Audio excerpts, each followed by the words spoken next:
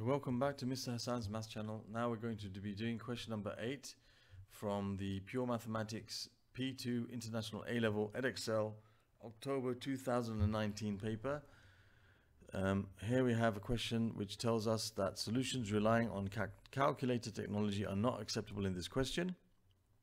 And we're told that figure 2 shows, this, shows a sketch of a part of a curve with the equation given as y equals 8 times root x minus 5 all over 2x squared where x is greater than 0 and we are asked to find the area of the shaded part which is marked R which is enclosed. We are asked to find the exact area of it and it's enclosed by um, the curve. The line x equals 2 and the line the x-axis and the line x equals 4 so when we integrate a function between the limits of x, like here, 2 and 4, if we integrate this function between those limits, um, with respect to x, we'll find the area under the curve, okay, up to the x-axis between those limits. So that's what we have to do. We have to find the integral of y with respect to x between the limits of a and b, and that will give me the area between the curve, the x-axis, and the lines x equals a and x equals b. That's what it's going to do. All right, so that's what we have to do for this particular function. So we have to integrate this. Okay, we have to integrate the function between 2 and 4. And the function is 8 times root x minus 5 over 2x squared. I have to integrate that with respect to x. So I need to get this prepared for integration first. In order to prepare it for integration, I have to be able to split it up into separate terms. So I'm going to write this one fraction as two separate fractions and I'm going to write any x I see in surd form in index form. So the square root of x is x to the power of a half. And you got x to the power of 8, x to the power of half over 2x squared minus 5 over 2x squared. And this has to be integrated with respect to x. Because I split it into separate terms, I have to put the brackets and I have to put the dx with these brackets here. So the dx reply, uh, refers to all of this. We're integrating all of this with respect to x. And I have my limits of 4 and 2 there. Um, I'm still not quite ready. Let me combine the x terms into one term in the numerator. So the 8 and the 2 will cancel out. Give me 4. I'll have x to the power of, well, a half minus 2. Subtract the powers when you're dividing. So a half minus 2 is a half minus 4 over 2, which is minus 3 over 2 and then you have minus 5 over 2 x to the power of minus a half and you've got to integrate that with respect to x.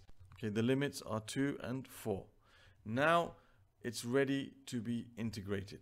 So when I integrate it I must use square brackets and I must put the limits at the end at the end. So first of all to integrate this I have to add 1 to the power. So minus 3 over 2 plus 1 is minus a half then I have to divide by the new power, which is minus a half.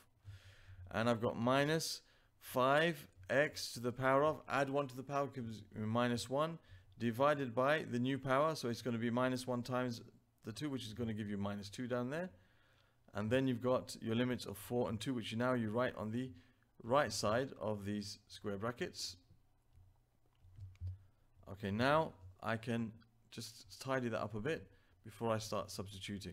So now I've got here, this is dividing by a fraction is going to be multiplying by its reciprocal. So this is 4 divided by half, which becomes 4 times 2, but it's negative, so I'll put negative 8x to the power of negative a half. And here you're going to have the minus, and the minus will give you a plus. So you'll have 5, and I'm going to write this as x to the power of 2, 5 over 2 x to the power of 1. That x to the power of minus 1 comes down, and what I'll do also in this one step as well, just to save some space, I'll write this as 8 minus 8 over the over the square. In fact, I'll do that in the next line just to just, just to show you properly. So that's 8x to the power of minus a half here. Okay, now what we can do here is we can express this in a way that's easy for us to substitute the values in. So I'll have minus 8 over, now this will be x to the power of half underneath because it's a negative power on top. but the square the, the the the summing to the power of negative half is the same as the square root of that thing. So it's minus 8 over the square root of x plus 5 over 2x and here you've got your limits 4 and 2 so now we can just substitute those values into here.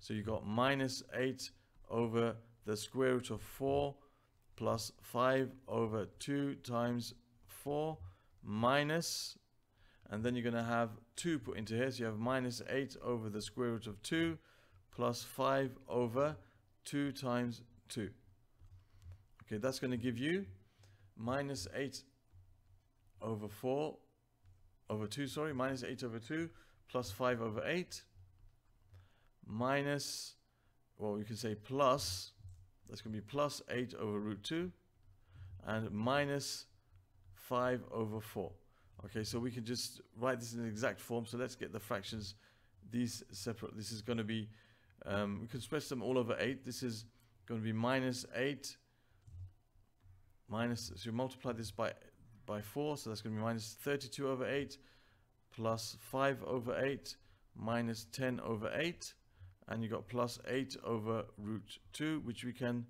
rationalize this part of it.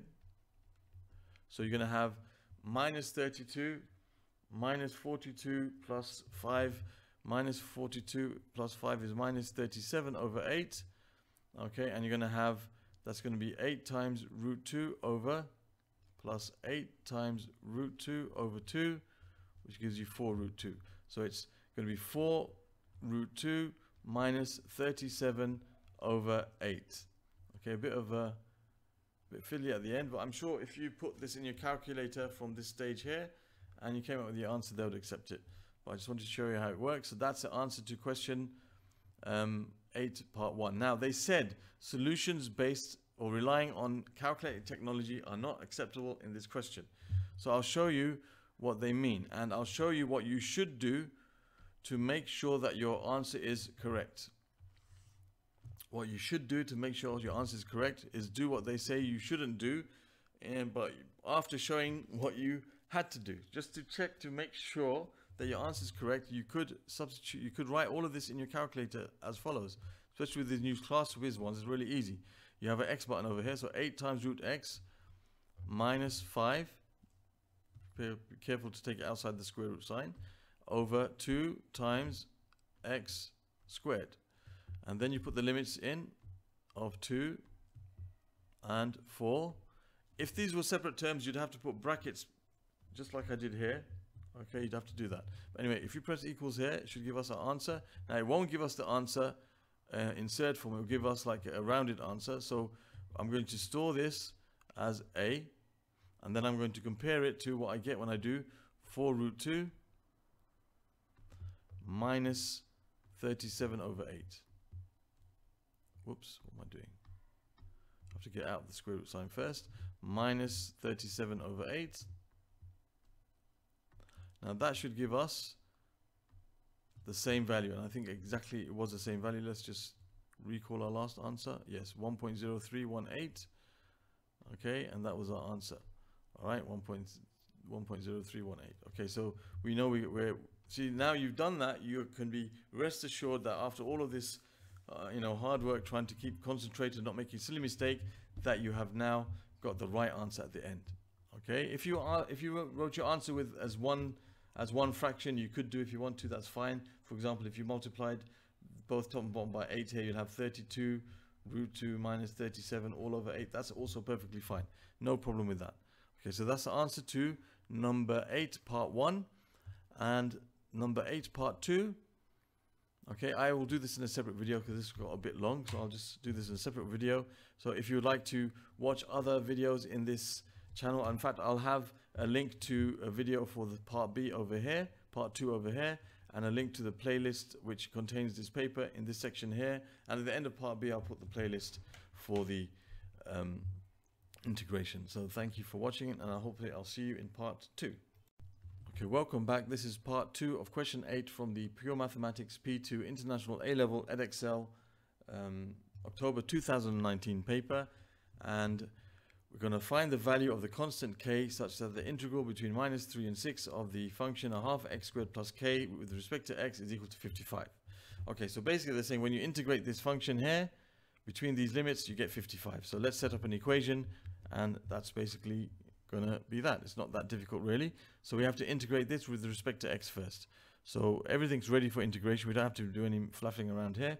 Add 1 to the power, and divide by the new power. So this is going to be x cubed over 3 times 2, which is 6, plus, and you have a constant, you integrate constant, it's going to just become the constant times x, because k on its own is actually like k times x to the power of 0, if you're dealing with in terms of with respect to x. So if you add 1 to the power, you get x to the power of 1 over 1, so you get kx. All right, so now that's done. With And the limits are 6 and minus 3. And we know that this is going to give us 55. So we'll have an equation and k will be our only unknown. So now we substitute the values of 6 and minus 3 into here. So you have 6 cubed over 6 plus 6k minus, I'll put a bracket here because of the minus signs that might come up and you know we don't want to get um, silly mistakes here. So it'll be, that will be minus 3 cubed over 6 and you're going to have minus 3 times k because minus 3 is going to take the place of the x. So you get minus 3k.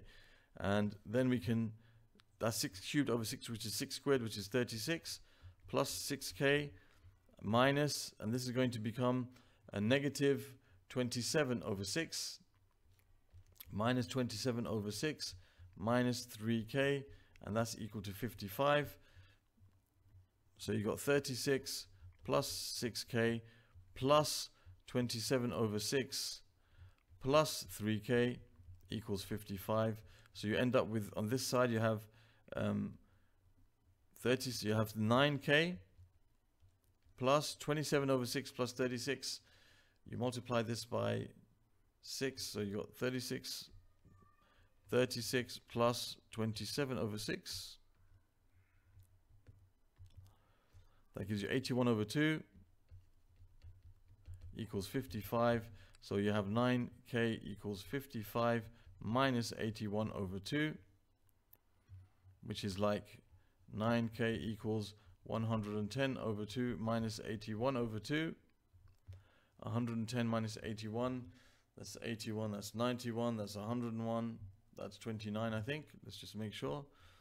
110 minus 81 equals 29. So you're going to have 9k equals 29 over 2.